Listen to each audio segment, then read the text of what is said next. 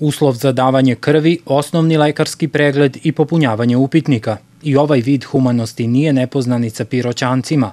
Krv sam dao skoro 73 puta, dajem čisto zbog svog zdravlja i da očistim organizam od krvi, od zaostale krvi. I ovo je prilika da pomognete onima koji to... Pa, bilo je, bilo je.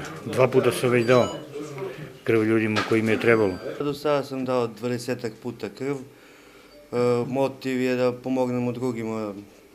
Na desetine građana u Pirotu da krv tokom jedne akcije. Pred praznike je posebno važno prikupiti što više jedinica krvi. Pred svake praznike vrlo je bitno da se zalihe krvi imaju, jer nikad se ne zna koliko će i kome da trebati krv, a, a važno je da se, da, mi tako kažemo, da krv čeka pacijenta, a ne pacijent krv. Trenutno su zalihe stabilne, tako da ima svih krvnih grupa, ali svakako bih apelovao da se što veći broj ljudi odozove, nebitno na, na krvnu grupu, znači uvek je bolje da ima uvek smo maksimalno zadovoljni odazivom, tu su nekih od 50 do 80 pa čak i 100 davaoca po akciji tri puta mesečno, akcije i tokom naredne godine. Stojanović dodaje da se krv može dati i posle vakcinacije protiv virusa korona, s tim što je potrebno da prođu dve nedelje od imunizacije ukoliko ste primili AstraZeneca ili Sputnik V vakcinu. Krv mogu dati i oni koji su preležali COVID sa blagim simptomima već nekoliko nedelja posle bolesti ili par meseci posle bolesti ukoliko je osoba imala teži oblik COVID-a.